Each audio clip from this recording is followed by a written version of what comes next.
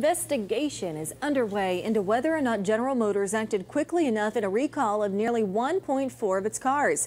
Here to talk more about it is KUSI's car expert Dave Stall. Good morning to you. Well, good morning to you as so well. This is quite serious. You know, they're recalling a lot, and tell us exactly what the recall is over. It's very, very, very serious, and it's a really, it's a, it's a bad situation all the way around. Used to be a service manager for 30 years, so I'm totally mm -hmm. aware of what we're doing here. This ignition system problem is, is not new. This happened back in the 70s and the 80s.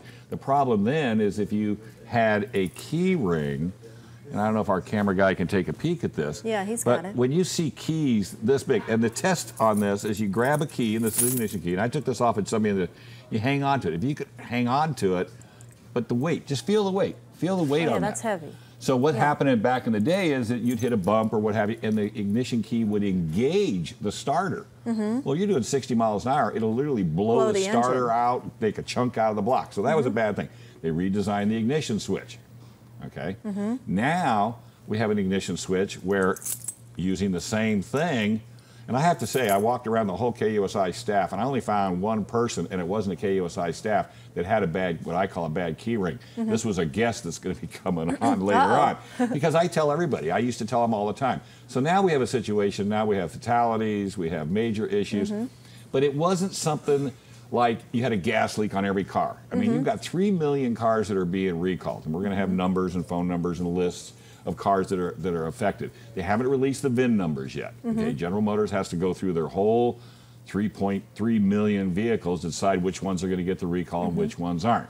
My recommendation is until such time as that recall comes out, if you happen to own a Cobalt, a Solstice, uh, an HHR, any of those types of vehicles, then knock your key ring down. Yeah. See, for example. Well, why hasn't GM just released a statement saying, hey, be smart when it comes to key rings and don't put more than five keys on one key ring. Well, believe it or not, it's been the mantra forever. Mm -hmm. Every dealer I ever worked for, and I worked for about eight of them in this town, that was one of our things that we would tell people when they would come in the service drive.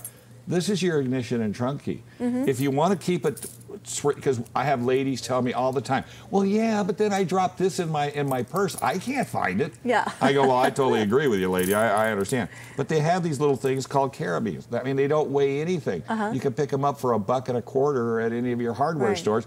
Lack it on there, latch it on the. I put it on my belt loop. Mm -hmm. Put it on your on your uh, on your purse. That's okay, not very so stylish, though. No, I know. Well, we'll get some design ones. the ladies aren't going to wear those. But here's the thing: what are we going to do today? What are we going to do now until we yeah. resolve this situation? Well, the first thing you do, down, downgrade your key, key mm -hmm. ring. You know, if you need something to, that you can find it in your purse, go go to uh, Toys R Us and get one of those big plastic toy rings, mm -hmm. hook it on there. The main thing is just be aware. The other thing too is how many times have you taken your car out into a large, say Qualcomm, drove it and turned the key off just to see what would happen?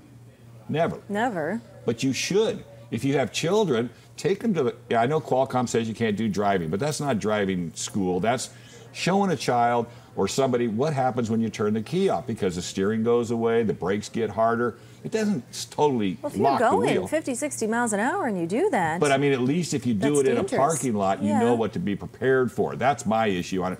And it's just lack of education. Mm -hmm. And all of these incidents that we've had, eh, you know, are all going to be investigated and they're going to decide what caused what. So many cars are computerized these days. Could something like that happen? Oh, yeah. Well, not only that. See, the biggest thing is the airbag is not hot wired to the vehicle when the engine is turned off.